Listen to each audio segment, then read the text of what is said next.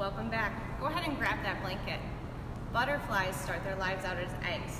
So if you look at this tiny little egg right here, you're gonna get really tiny yourself because we're gonna act out the life cycle of a butterfly. So get really little.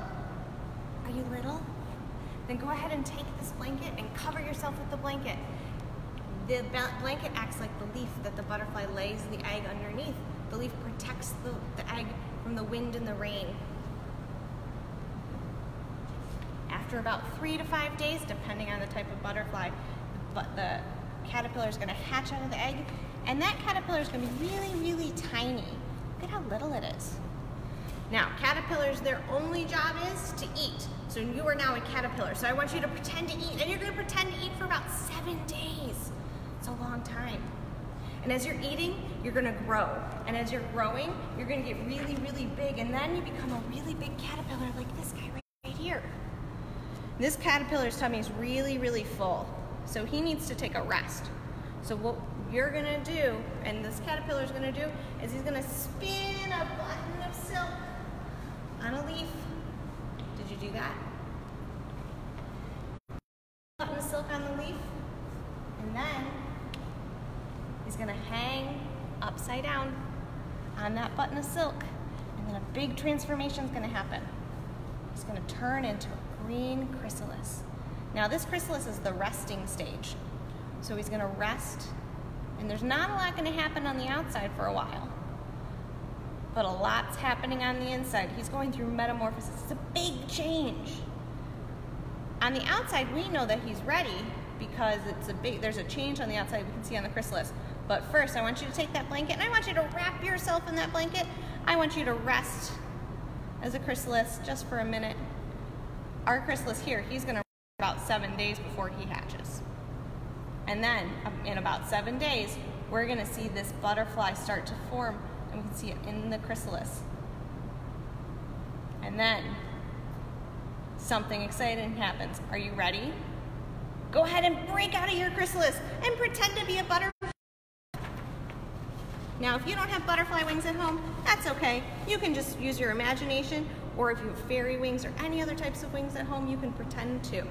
Now, this activity, parents, doing this activity helps increase awareness of the natural world and builds gross motor skills. Now, you can do this at any point in the day that you want because you can be a butterfly and go through the life cycle at any time. Let's go look at a butterfly up close with a microscope.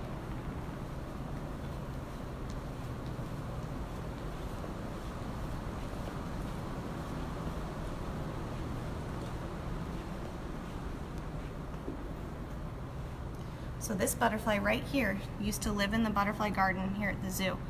Butterflies have relatively short lives. So after they pass away in the garden, we can actually look at them up close and not hurt a butterfly. So I, because this butterfly has passed away, I'm gonna touch its wing and I'm gonna show you what it looks like. So you see all that gray dust on my finger? That gray dust is what makes a butterfly wing special and also reasons why you shouldn't touch a live butterfly. Let's look at it up close with the microscope.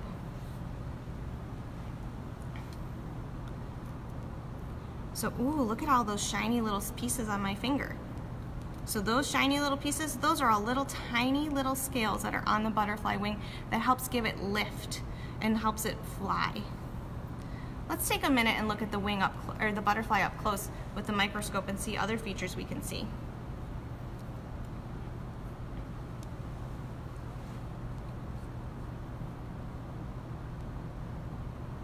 My microscope sometimes takes a minute to, to get into focus. Oh gosh, look at that. You can see its eyes really well. You can see its, there's little hairy parts right here. Ooh, and you can see the stripes on the antennae. Butterflies are really cool. Now friends, or this doing this activity increases awareness of the natural world, practices using scientific skills, and builds observation skills. Now, you can't do this at home because you may not have, you shouldn't have dead butterflies hanging around. So what you can do is you can go outside when the butterflies start coming around and you can look outside with your eyes and you can see if you notice the features of a butterfly. If it lands, maybe you look and you keep your hands to yourself and you look at it up close. And can you see its eyes? Can you see its antennae? Okay, we're gonna go play a game, or we're going to go learn about butter, more about butterflies. Hello. So you've probably seen butterflies about this, the size of my model right over here. Kind of like the monarch butterfly. It's about this big. You probably saw them flying around with Claire in the garden. But I'm going to teach you about butterflies that come in different sizes. So over here I have one of the world's biggest butterflies, the Queen Alexandra birdwing. This butterfly can span up to nine inches wide.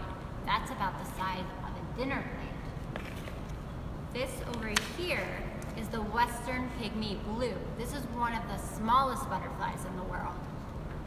It is about this size right over here, or the size of a penny. When you have some time later, I want you to try to find butterfly or objects around your house that are bigger, smaller, and the same size as these two butterflies right over here. But right now, we're gonna do an activity where we are going to make a prediction and see how close we are to our prediction. So we have our butterfly right over here. I'm actually going to use my dinner plate. And I'm going to use pennies and I'm going to see how many small butterflies or the western pygmy blues it takes to make a, the wingspan of the Queen Alexandra birdwing. So I'm going to predict seven and I'll see if I'm correct. So, one, two, three, four, five, six, seven. So my prediction was too small, but that's okay because I'm going to figure it out eventually. Eight, nine, ten. So it takes 10 Western Pygmy Blues to make up the wingspan of one Queen Alexandra. You could also do it at home and see how many butterflies it takes to make up this length or how many butterflies this size or the size of a paper clip it takes to measure up a dinner plate. Now we're going to go look at symmetry with a game here.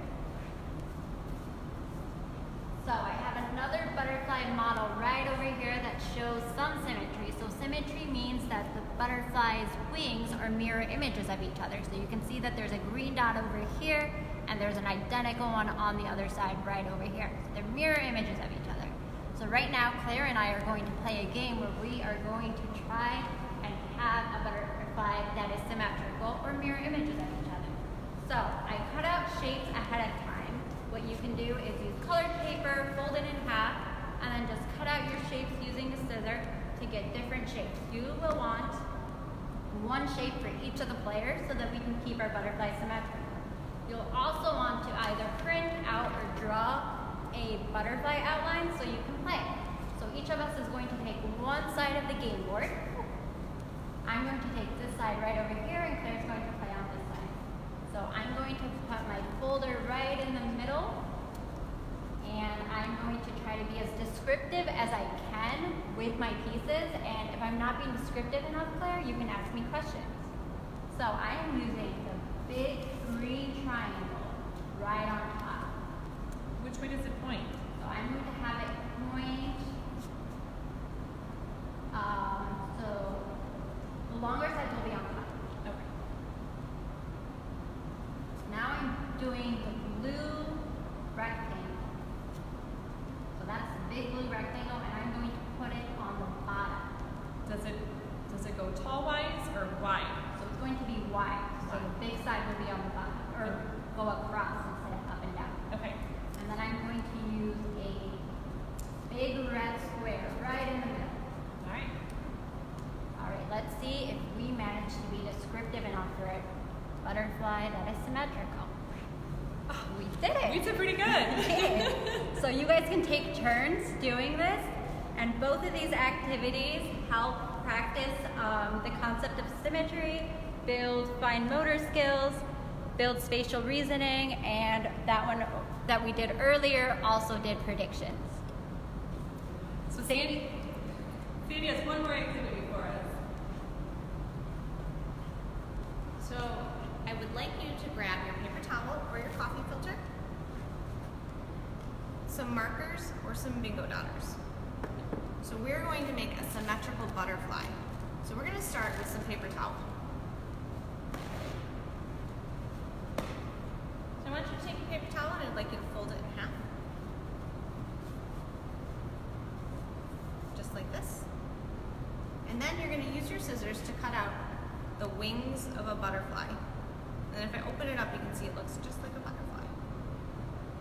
So what I'm going to do is I'm going to take my markers, and I have to be very patient this. I'm going to put my marker on the, the paper towel and just hold it for a moment. And wait and see, and you can see how the ink's kind of spreading out. That note means I'm ready to go ahead and take that marker off. I'm going to put a couple dots on here.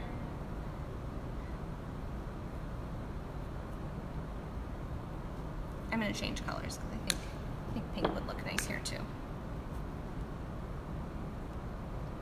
Now, remember, Miss Zara said that symmetry means that things are the same on both sides, like a mirror image. So if I open up my butterfly, I wonder if it's going to be a mirror image on both sides. Let's see. Oh my gosh, look at that, it is. So my dots are the same, and if I put a mirror in the middle, it would be the same on both sides. Now we're going to try it with the coffee filter. You need to make your coffee filter nice and flat. You're to fold it in half. Now for the coffee filter, you have to, you want to try to do your dots along the outside. You don't want them down the middle part.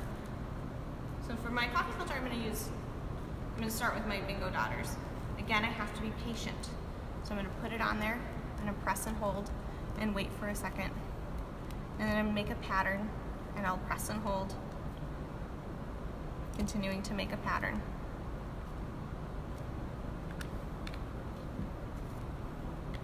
Do a couple more. You can also use the, the markers on the coffee filter. So I'm going to use my pink marker again. Again, you have to be patient with your marker, so you got to press and hold and wait.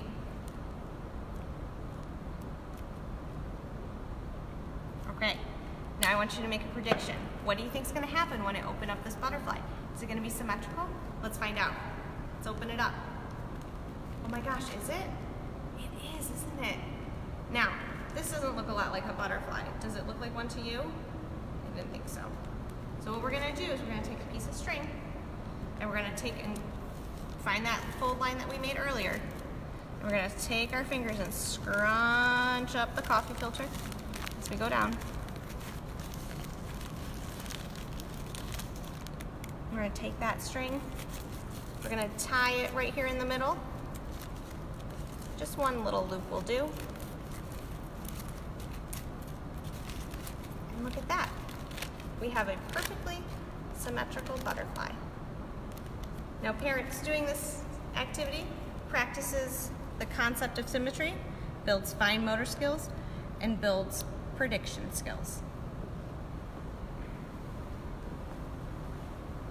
Thank you everybody for joining us today. We went over a lot of vocabulary words. We talked about the life cycle of a butterfly and we learned the words egg, caterpillar, chrysalis, butterfly, we saw the proboscis, the tongue that's on that butterfly. Uh, we also talked a lot about symmetry, the things that are the same on either side. So tonight, if you had a chance, go around the house and do what Zara suggested. Find things that are bigger than a dinner plate, so bigger than the world's biggest butterfly, or things that are smaller than a penny, smaller than the world's smallest butterfly. Or you could play the symmetry game with someone in your house, or you can make a butterfly and hang it up in one of your windows. We really appreciate everybody tuning in and listening. Um, we'll have more resources and we want you to take care of each other and we'll see each other, we'll see you all soon.